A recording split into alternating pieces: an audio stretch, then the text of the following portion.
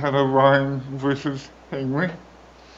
Each side will have 20 minutes to present oral uh, argument. Appellant, you may reserve any amount of time that you wish for rebuttal, but you have to keep track of it, that time yourself. We have a clock at the podium for you to uh, watch the time and act accordingly. We are re- re- re- re- recording the argument both in audio and video. We're live streaming, I believe, and the argument will be on uh, YouTube soon. So if you want to watch yourself, you're uh, able to. Because we're doing that, though, please uh, identify yourself and your client when you step up to the podium so that we can keep everybody straight. We've read the briefs and examined the record and conference the case, so we're familiar with the, the, the facts and the law. So when you begin your argument, just begin with what you would like to talk with us about. Counsel, you may begin.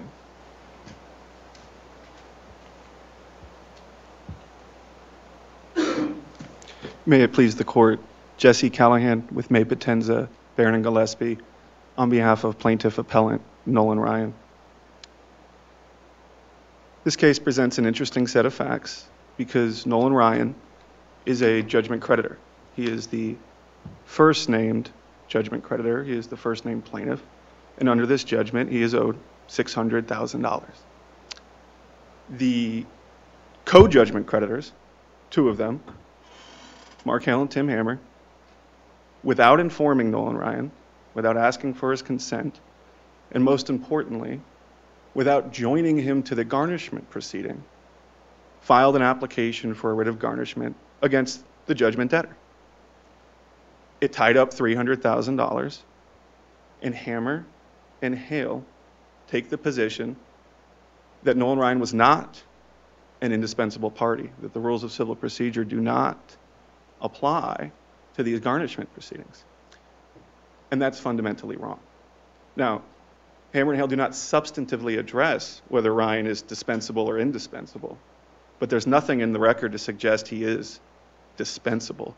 And the reason is his judgment, where he's owed $600,000, if this garnishment judgment goes through, he will now only be owed $300,000, yet he didn't receive anything. His rights will be substantively effective, uh, affected in his absence. Won't he have a right against uh, the other two if they receive the money? That's not the same as being a judgment creditor, Your Honor. Right now, Nolan Ryan is a judgment creditor. He's owed $600,000. Did he officially uh, intervene in the action below? He objected in the basis of the action below. So the statutory garnishment procedure is actually, according to the case law, a separate proceeding. It's its entire own separate civil proceeding. So he, he- but he became a party in essence. When he found out about it, not because Hammer and Hale told him, but because Henry actually informed him that this had happened, Well, how, how was he prejudiced by coming to the case late? he's prejudiced because now his name is not on that garnishment judgment. He, he, he is not going to receive the funds. All he seeks is to be treated equally with his other co-judgment creditors. Or can he file his own government, uh, uh, uh, garnishment action? He, that's what he sought to do. So here, here's what Nolan Ryan objected to. He said, I should be treated equally with my other co-judgment creditors. If there's a garnishment judgment that's going to be entered, I need to be a part of it. Because if not, then my rights are affected in my absence. And what Commissioner Garbarino ruled, what the trial court said is, the rules of civil procedure don't apply to garnishment actions. Commissioner Garbarino didn't say Nolan Ryan is dispensable, or he didn't find he's not an indispensable party. Do you- do you have authority, counsel, uh, that a garnishment action is not appropriate unless all interested parties, what you would call indispensable parties, are, are joined? I mean, Yeah. In a statute or a- a case other than a, a Fifth Circuit case from the 60s? Your Honor, yes, the, the authority is actually not a statute. It's not a case, it's the rule. So there's, there's two cases that are on point here about applying the rules of civil procedure in a garnishment proceeding. The first one is an Arizona Supreme Court case, and that's the uh, Davis-Chilson case. In Davis-Chilson, the Arizona Supreme Court found that a garnishment judgment was void for failure to comply with a rule of civil procedure. It was a 1934 case, it was then Rule 7. The Arizona Supreme Court said that garnishment judgment that was entered is void because the rules of civil procedure were not applied with. What, what, what about, okay, so is there a case interpreting the rule that you're talking about in the context of a garnishment and indispensable party? Uh, The answer to that question is, despite all the fine lawyers involved in this case, nobody has found this fact pattern in any case. And, and here's the reason why. Imagine, Your Honors, that there's 100 judgment creditors, unapportioned judgment, and they're all owed a million dollars. One of those judgment creditors is only owed $1 under the judgment. But because that judgment creditor is the first one to win the race to the courthouse, on his own file an application for writ of garnishment without joining the co-judgment creditors, Hammer and Hale's position would lead to the absurd result that that one judgment creditor gets the whole million dollars first, thereby satisfying the judgment as far as the debtor is concerned. They're off the hook. They paid the million dollars. Well, so what, wouldn't that absurd result have been challenged at some point in the history of our common law or since this rule was adopted? We would think, we would think it would, but instead we have a rule that actually adopts the, the common law rule of equity that, and, and Rule 19 is really an adoption of the cardinal rule of equity that you cannot affect somebody's rights in their absence. So let's broaden it nationally. Let's look at every jurisdiction that has this same rule of civil procedure. Have you found a case that has interpreted that rule to require all interested parties or judgment creditors uh, be joined in a garnishment action uh, as indispensable parties? The answer to that question is, there's no case either way. There's no case that says one judgment creditor can go collect the full amount, notwithstanding his co-judgment creditors also having that same interest in those proceeds. Well, I- I'm rather confused. If you had the absurd case where you, you had a, a creditor who was owed one dollar uh, among a much larger amount, if he collected the whole uh, uh, amount, the other judgment creditors would certainly have have the, the right to take their appropriate portion of that from him, and the, the remedy at that point would not be against the debtor, since the debtor paid his debt, but uh, but against the other uh, creditor who who was, for to use the common the common phrase, unjustly uh, enriched. And so, Your Honor, Uh, Well, I guess if that's the case, why doesn't your client have a remedy against the other uh, judgment creditors? I understand they may not be what you prefer, but how are you in a worse position? it's a much worse position because in that context, the, the person who only owed one dollar, who took the million dollars, may not have it anymore, may have already spent it. Right now, we know there's $300,000 that should go to all the judgment creditors. And really, at the core of our request, we're asking for the apportionment to take place first. For the decision as to whose money does this belong to, to be decided before it is distributed. For Ryan, P&TM, and Hammer and Hale, the four co-judgment creditors, to all be named on the garnishment judgment, because having a garnishment judgment with those funds right there available to satisfy Ryan's rights under the judgment is much greater right, a much stronger right, than a new claim that would require a new lawsuit to go chase new people and then get a judgment against those people. Well, We have to start over. No uh, uh, creditor is, is ever guaranteed that someone who owes, owes the money actually has the, the money. So as long as I get an enforceable judgment, then that's just the way the world works.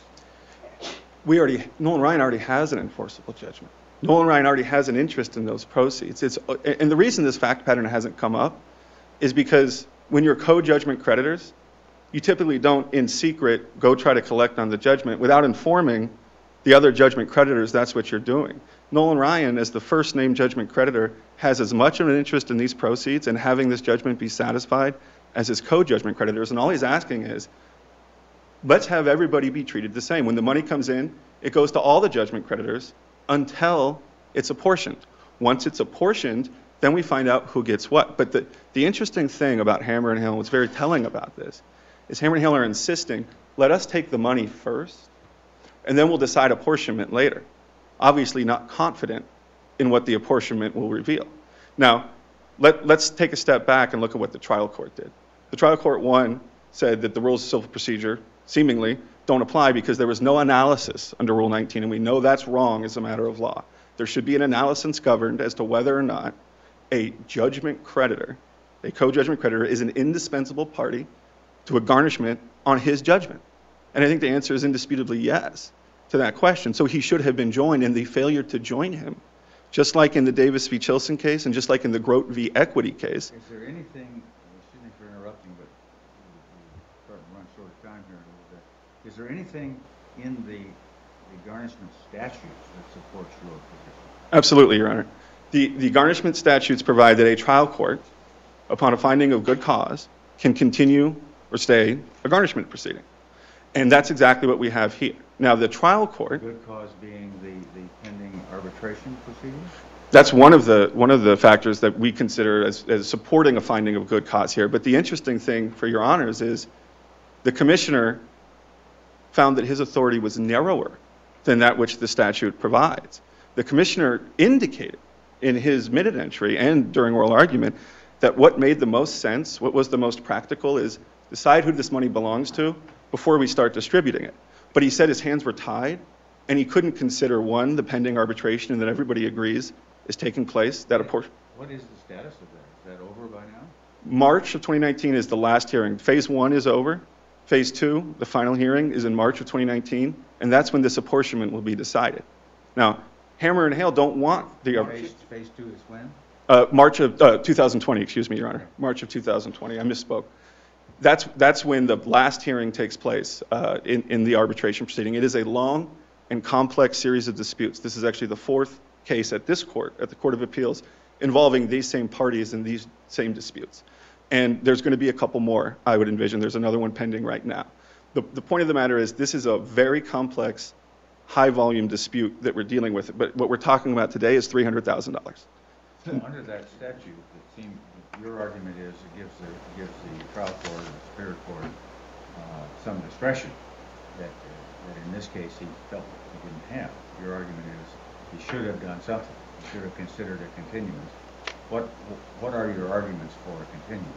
The arguments for a continuance, uh, Your Honor, are, one, in the, in Nolan Ryan's absence, full and effective relief can't be afforded because the, the rule of equity says that if, if granting relief in someone's absence will result in a proliferation of other claims and other lawsuits, that's one of the reasons why you don't allow a judgment to go forward absent giving that person their due process right. So that's one. Because he's not a named judgment creditor, that's, that's enough to, to quash the writ and invalidate it. But as to the continuance, there is a pending arbitration. We're going to apportion. Let me, uh, let me go back to your first point there, uh, and it relates to something I was starting to ask earlier.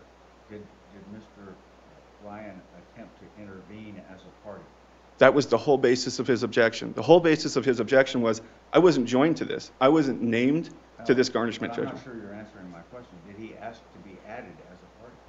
It- He, he did, because in the objection and during all our argument, and as set forth in our papers, our whole position was, we are an indispensable party to this. So if we're not me- added, Let me put it this way. Was a motion to intervene filed with the attach, with the required attachment of a proposed pleading?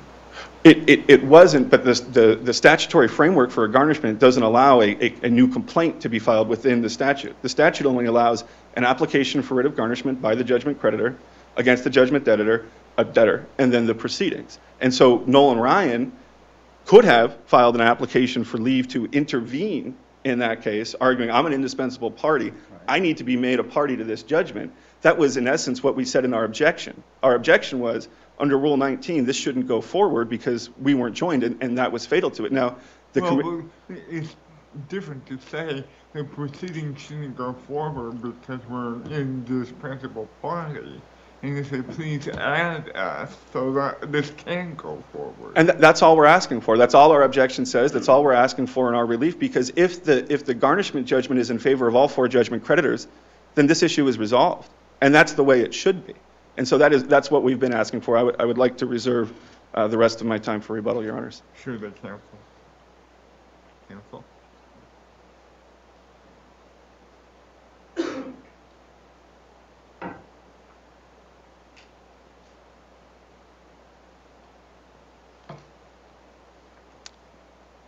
Thank you, Your Honors. May it please the court. My name is Wade Bergeson. I am counsel for Appellees Timothy Hammer and uh, Mark Hale. Uh, Good morning. Uh, I want to address a couple of things that counsel just said. I think they go to the heart of the issue, and, and, and frankly, I was, I was kind of surprised to, to hear them. Uh, According to counsel, appellant seeks, his main concern is he won't get his share of 300,000, actually $310,000 that are subject to the garnishment. All he seeks is to be treated equally. In, in point of fact, that's not what he seeks, because he was at all times going to be treated equally. The hearing transcripts from June 18th of 18 and August 20th of 18 are replete with references from counsel that says the appellants, or I'm sorry, the, the, uh, the, the judgment creditors, there was four of them. Three of them had applied for the writ of garnishment.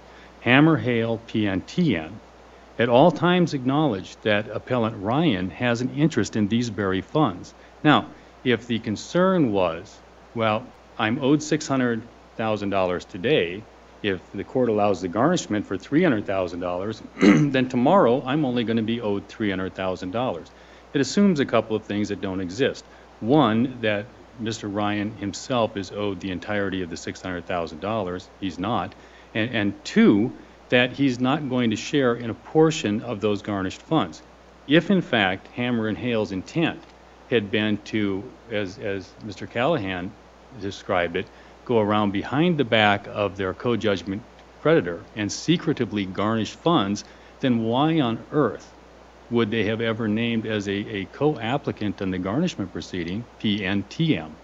The, the majority member of PNTM has at all times been appellant Ryan.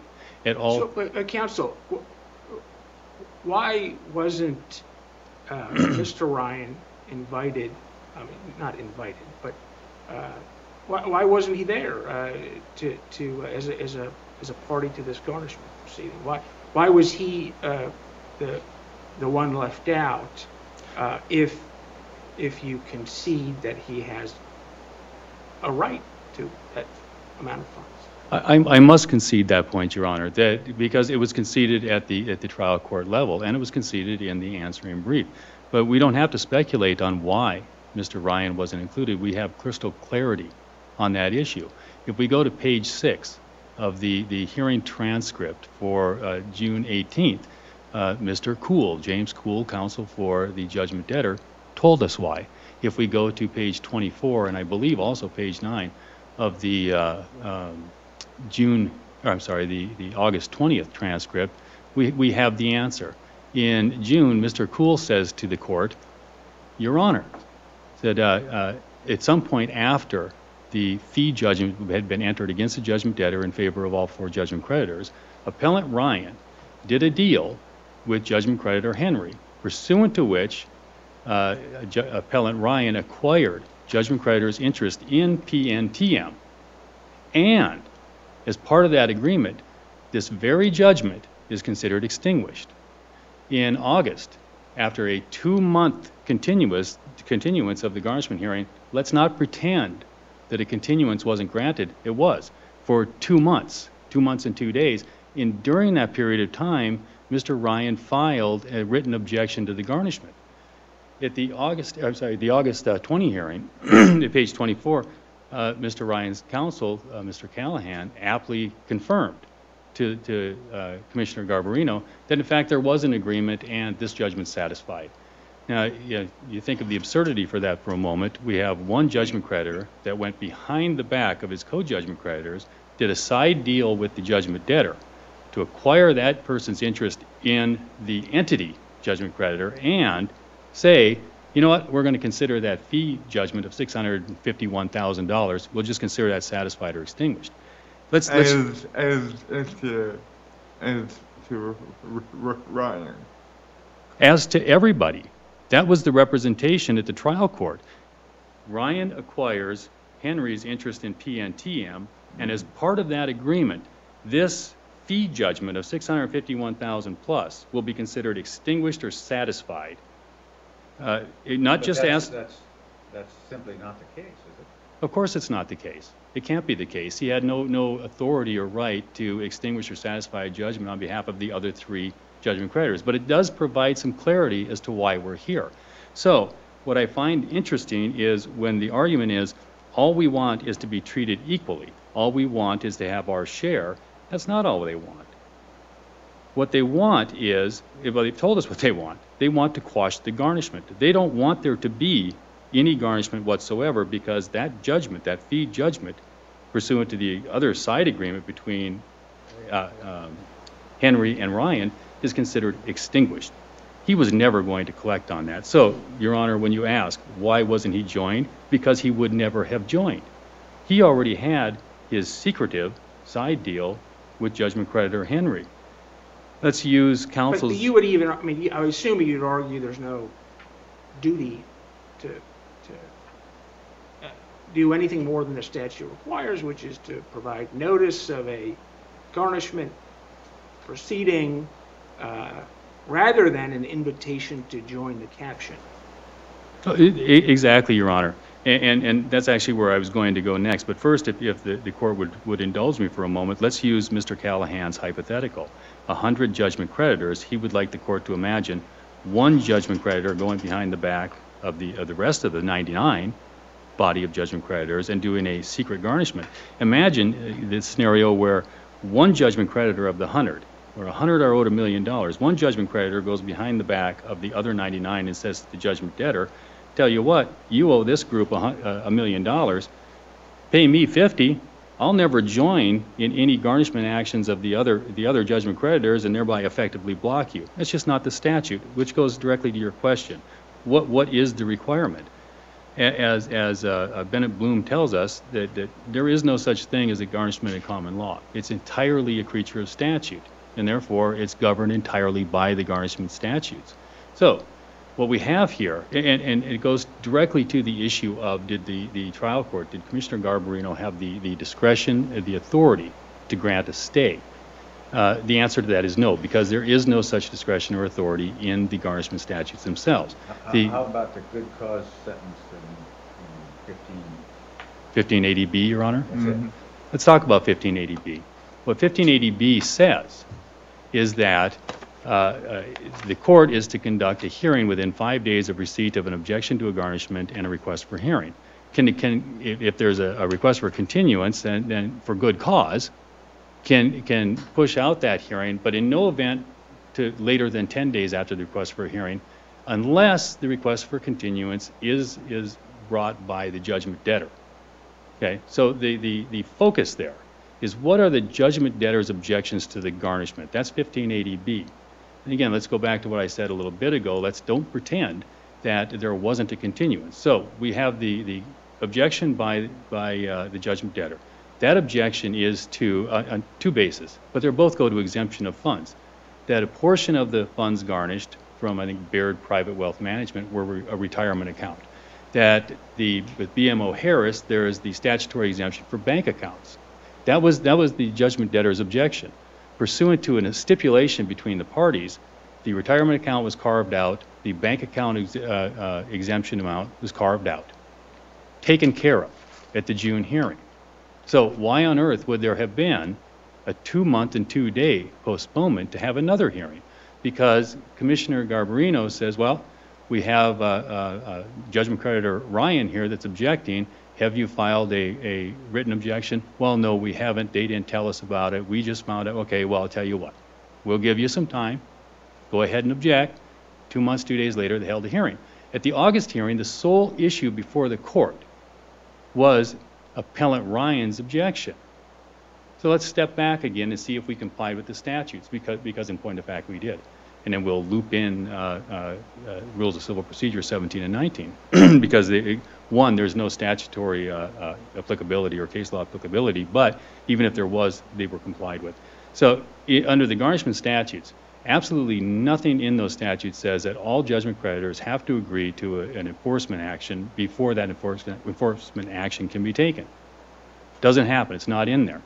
Uh, Under uh, 121572, a writ of garnishment will issue when a judgment creditor submits a written application, we have that, and asserts that the garnishee is believed to be in possession of, of, it's a number of things, in this case, the relevant one is monies that are, that are non-exempt and not, not earnings. So we have, we have that.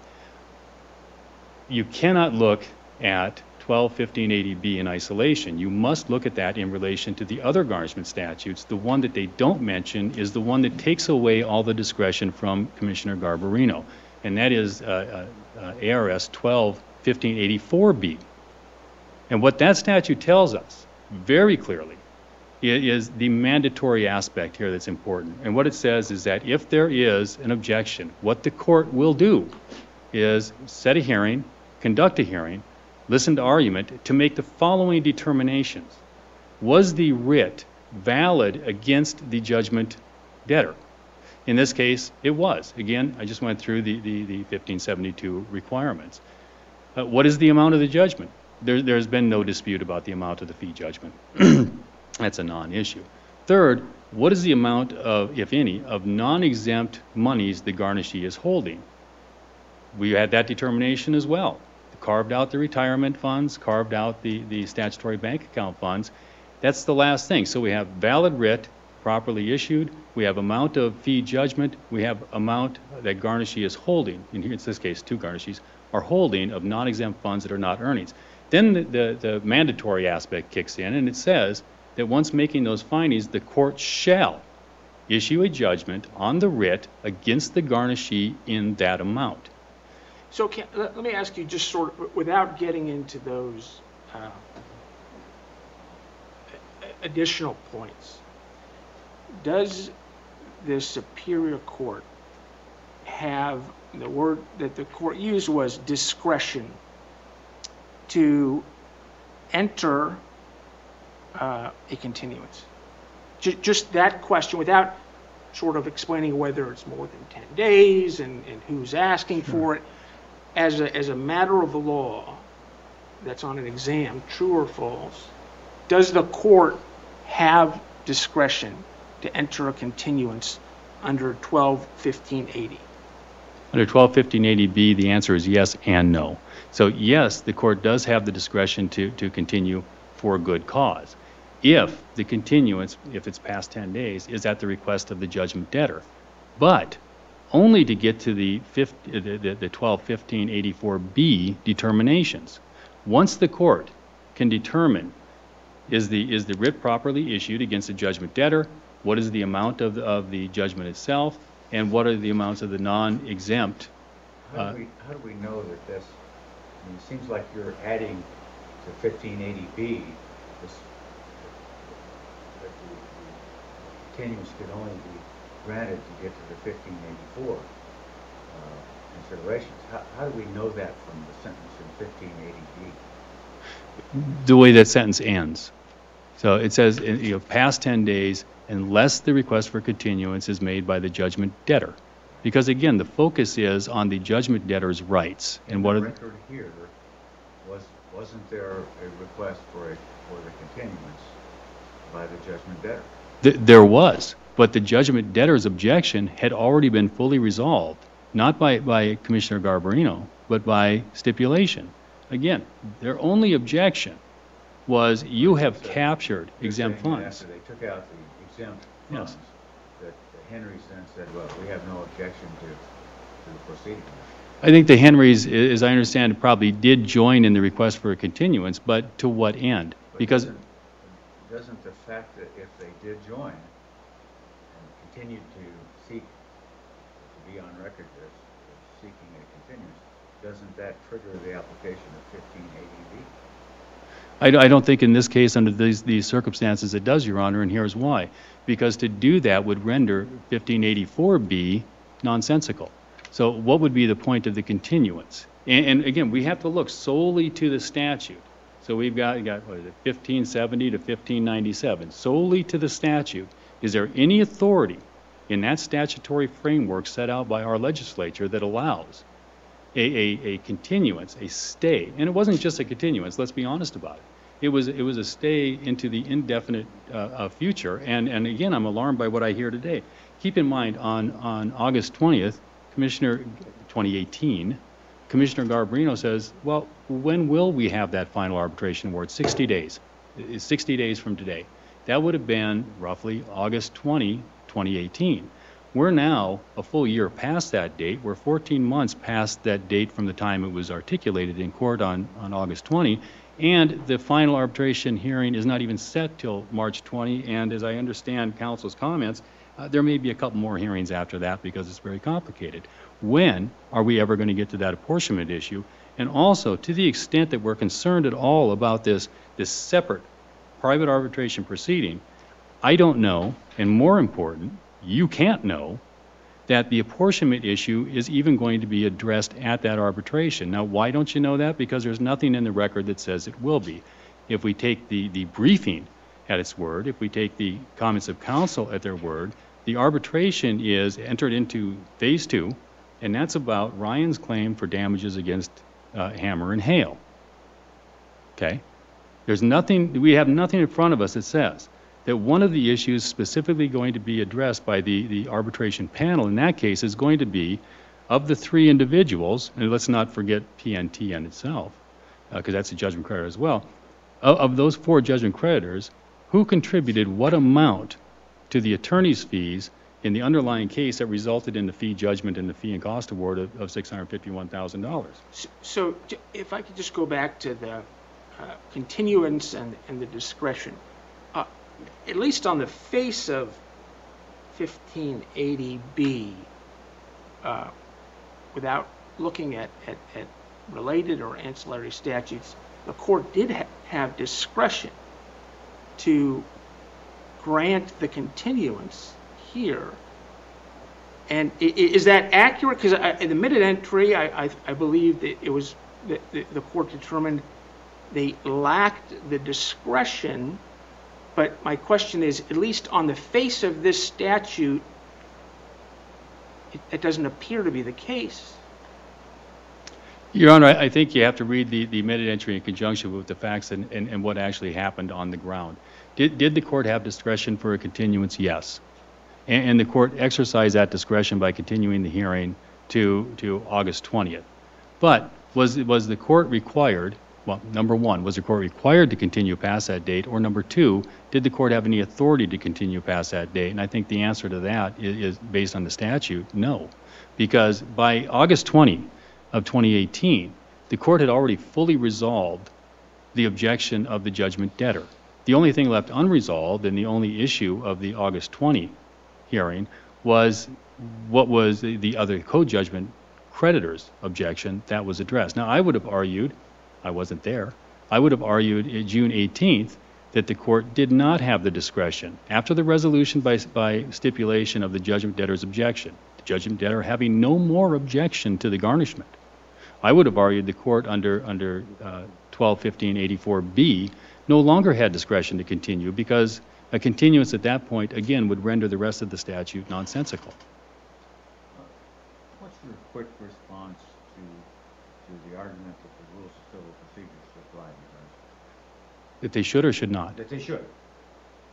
Uh, uh, Your Honor, I, I haven't seen any, any uh, statutory or case law support for that position. My, my quick response to that, and I, I have to apologize to counsel, I, I've breached the spirit of our agreement. Uh, We had agreed I was going to carve some time out. Uh, Rule 17, they brought the action in their own names. Hammer, Henry, and PNTM were judgment creditors. Rule 19, whether there was a formal joinder or not, he was in, in effect joined. The, the, the court could afford complete resolution, complete and final uh, uh, award by, even without Ryan, because the entry of the garnishment judgment uh, uh, reduced the judgment debtor's obligation to the creditor body as a whole. And Mr. Ryan wasn't prejudiced by that. I apologize, Your Honor. I apologize to counsel. Thank you. Counsel. Thank you, Your Honor. Your Honors, uh, there is, there is a point that's been uh, overlooked, and it's actually addressed in the supplemental authority that PNTM's counsel filed.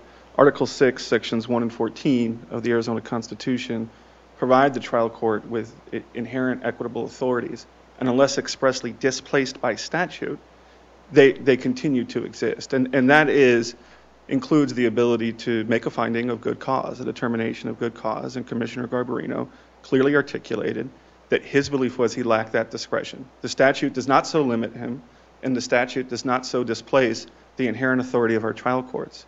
When we have, He did say that, as I recall, rather, rather straightforwardly.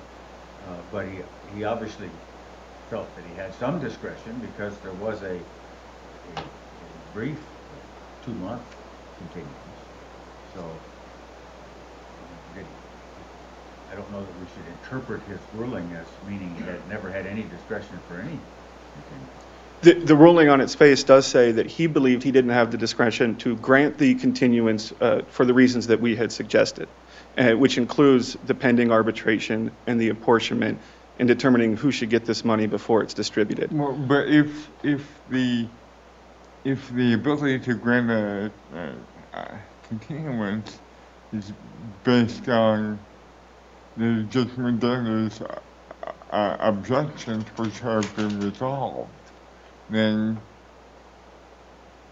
then the court w- wouldn't have, have, have discretion other than whatever r- r- r- residual uh, uh, discretion to generally grant uh, continuance.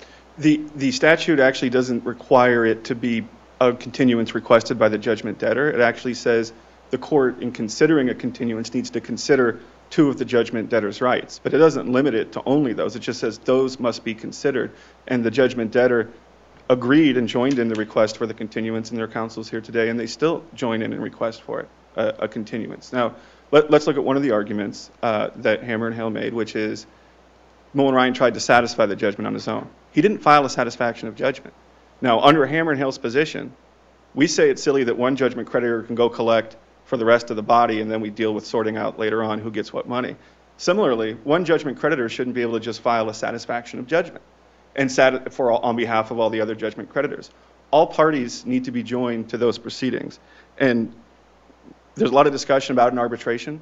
I'm counsel of record in the arbitration. There is an order that defines what the 10 claims are that are going to be decided at arbitration. That order was just issued a few weeks ago. Uh, Apologize, Your Honor, about a month ago. And so we now know what those claims are. We have the disclosures on it. We're conducting discovery on it. And I'm happy to provide that to Your Honors, but there's actually a much simpler solution. The trial court made a legal error. It too narrowly defined its discretion. This court can remand this case back to the trial court and let it know you have a little bit more authority than you thought you did under the Constitution and under the statutes. You said you weren't exercising discretion because you felt you didn't have it. You do. So have a hearing on it. And we can talk about at the trial court level what is the status of that arbitration? Is the apportionment going to be addressed by March? Is it a claim? And it will be, and we can present all that to the trial court.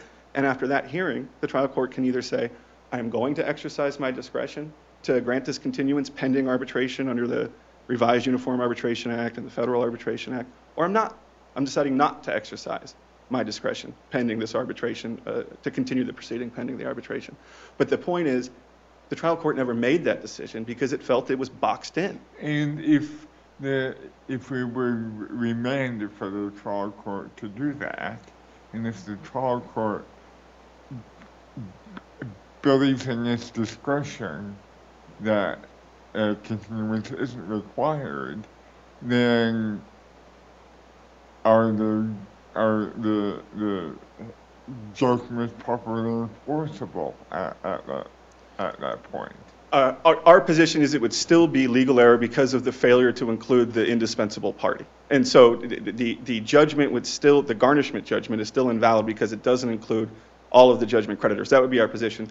But, but the key issue here is, let's say that the trial court, upon remand, says, I believe there is good cause for a continuance for the reasons that have all been stated on the record. The question is, if that was appealed by Hammer and Hale, would this court disturb that finding and find that the trial court abused his discretion? And I think the answer to that is no, and probably vice versa. If the trial court holds the hearing and says, I don't think there is good cause, you, despite these incredibly unique circumstances that have never come up apparently in the history of American jurisprudence, despite that, I don't find there's good cause and I'm not continuing it, even though he kind of indicated he thought it made the most sense, then that would be appealed for abuse of discretion. And I don't think that your honors, uh, well, it's entirely up to your honors, but that would be the standard, is abuse of discretion. Right now, we're talking about a legal error because he didn't exercise his discretion. So all we ask is for a remand to consider all of these factors by the trial court, allow him to make that decision, and then if either party decides to appeal that based on an abuse of discretion standard, then we might be back up here, but I don't think we will. Uh, And if the court has any uh, more questions, I'm happy to address them. Thank you, your honors. Thank you, counsel. We appreciate your argument uh, today.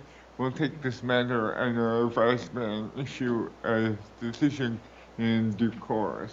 We're going to stand at, at, at recess for the next case to uh, approach, but we're, we're going to uh, stay put here on the, the bench. Thank you.